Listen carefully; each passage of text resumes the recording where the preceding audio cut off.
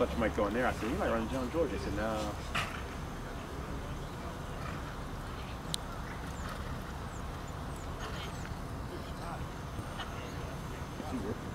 No.